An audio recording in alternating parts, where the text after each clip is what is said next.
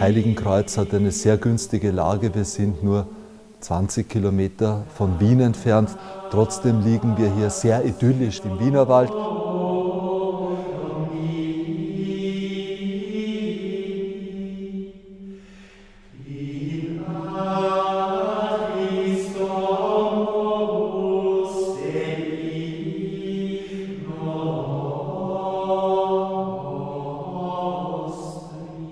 Als 1802 die Hochschule gegründet worden ist, hätten wir es nicht gedacht. Damals ging es mit zehn Studenten, zehn Zisterziensern los. Schwerpunkt eben Ordensnachwuchs. Inzwischen ist das Ganze sehr groß geworden. Ich glaube, wir dürfen mit Recht sagen, dass wir die größte Priesterausbildungsstätte im deutschen Sprachraum sind. Viele Ordensobere vertrauen uns ihre Studenten an und so ist es zugleich eben bei aller Idylle ein kleines Rom der Studienmöglichkeiten, das man in Heiligenkreuz vorfindet.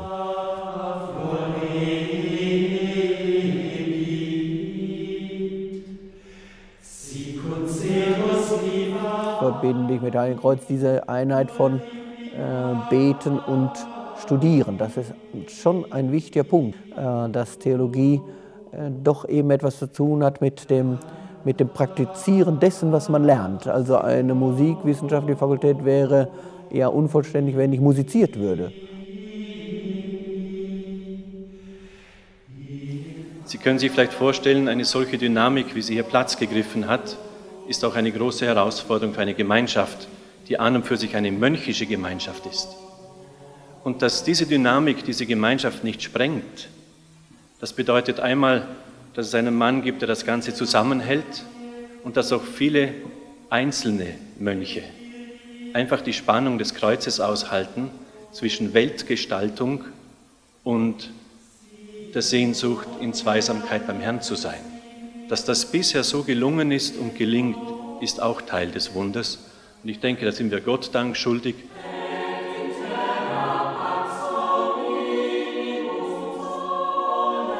Ein herzliches Willkommen und Grüß Gott an der Baustelle der Hochschule Heiligenkreuz. Das Stift Heiligenkreuz gibt es ja schon seit 1133 und natürlich haben wir eine großartige Bibliothek, allerdings ist die unpraktisch. Wir haben die Hochschule hier in einem ehemaligen Wirtschaftshof untergebracht. Es war ganz klar, dass wir auch für die Bibliothek etwas tun müssen. Wir haben deshalb diesen großen Raum hier gebaut, als Studienbibliothek. In wenigen Wochen wird es hier befüllt werden. Wir bringen hier allein 170.000 Bände unter.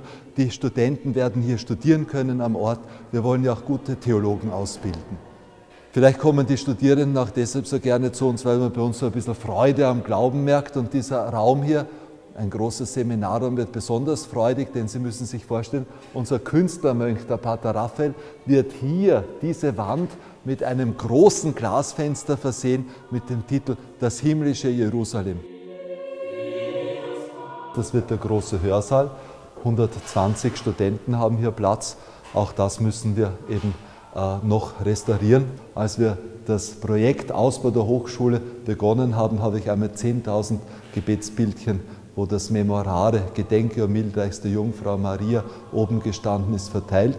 Und dieses Gebet hat offensichtlich geholfen. Viele sagen uns ja, ihr Heiligenkreuz, ihr habt so viele Berufungen, so viele Studenten.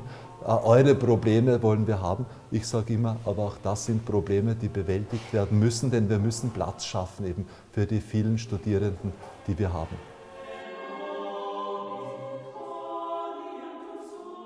Dass inmitten des Ausbaus auch noch die Situation auftritt, dass wir weit mehr Bewerber im Priesterseminar hatten als Plätze und dass es dann eine sofortige Bereitschaft gab, einmal ein Provisorium mit nicht geringem Aufwand zu bewerkstelligen und dann auch Pläne zu fassen für, für eine dauerhafte Abhilfe, das ist alles andere wie selbstverständlich.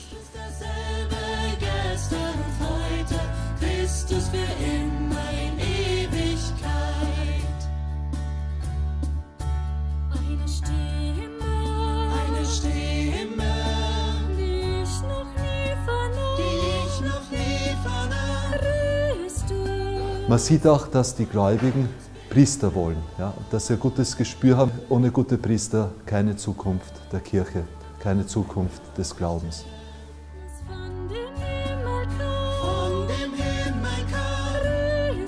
Und ich hoffe einfach auch auf junge Priester, die dann hier herauswachsen, die dann einmal den ganzen deutschen Sprachen überschwimmen werden.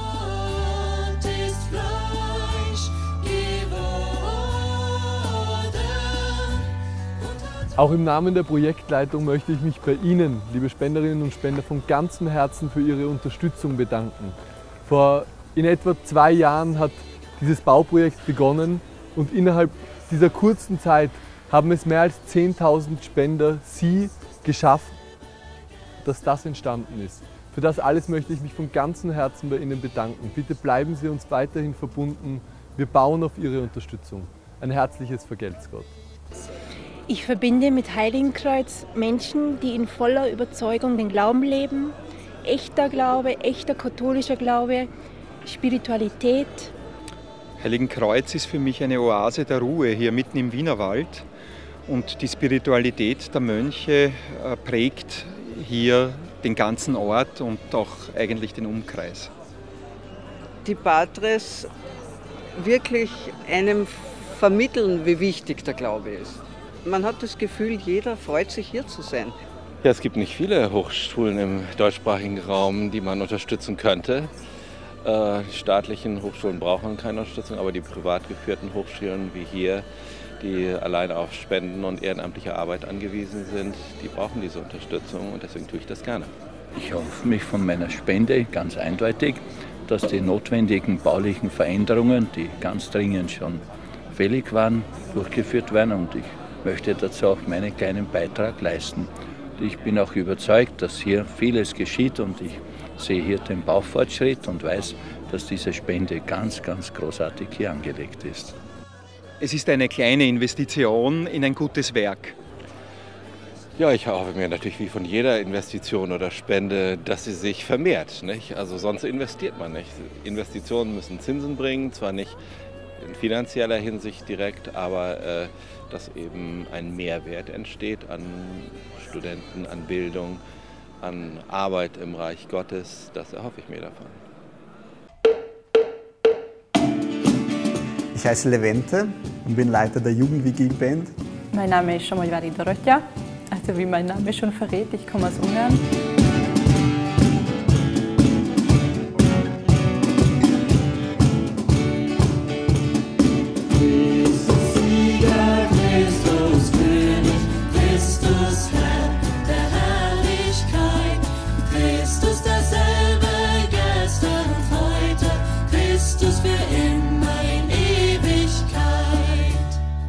Ja, ich singe sehr gern. Ich bin heute hier, weil wir eine Dank-CD aufnehmen dürfen in Heiligenkreuz. Wir singen vier Lieder.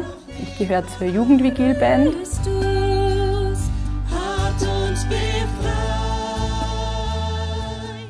Ich möchte Sie auch noch einladen, die drei Räume, die drei Büroräume des Rektorates mit mir zu besuchen. Das sind die einzigen Räume, die wir nicht umbauen müssen. Sie sind aber auch sehr einfach eingerichtet. Wir haben überall beengten Platz, aber es funktioniert. Hier läuft gerade voll die Neuinskription.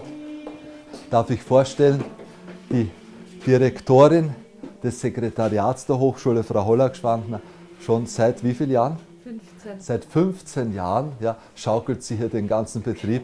Wenn es irgendeine Veranstaltung gibt und man nennt ihren Namen, gibt es immer tosenden Applaus, weil sie bei den Studenten wie eine Mutter geliebt wird.